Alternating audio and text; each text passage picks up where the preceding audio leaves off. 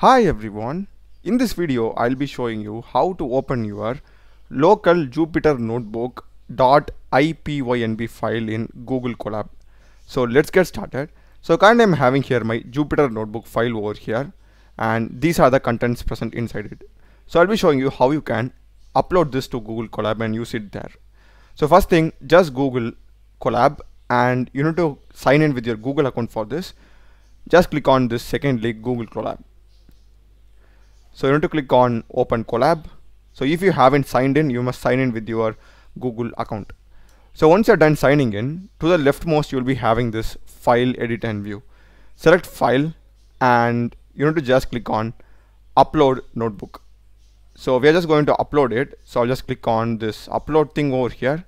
You can even add it from your Google Drive, GitHub, etc. But I'm going to upload it from my system, right?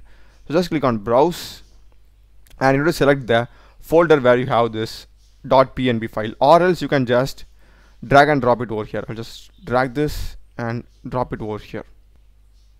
So I'll be getting the exact same content that I'm having over here and you can just save it directly here also. If you run and if you save it, it will be directly getting saved in your Google Drive. So I hope you would have found this video useful. Do check the playlist of my channel. I run a lot of videos in AI as well as programming. Check them out, subscribe me. Thanks for watching.